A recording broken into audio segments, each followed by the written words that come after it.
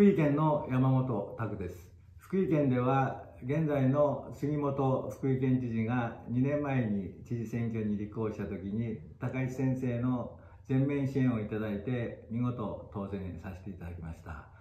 知事も大変今も感謝しており高市先生の総理就任を願っておりますまた地元の佐々木市長市長選挙でも高市先生のメッセージをいただいて見事当選させていただきました。そしてついでにうちの長男坊も県会議員に高市先生のご支援をいただき当選させていただきました。本当にありがとうございます。ぜひとも高市先生には今回総裁選挙に勝ち抜いていただいて100代目の国家あの総理大臣として日本初の女性総理を誕生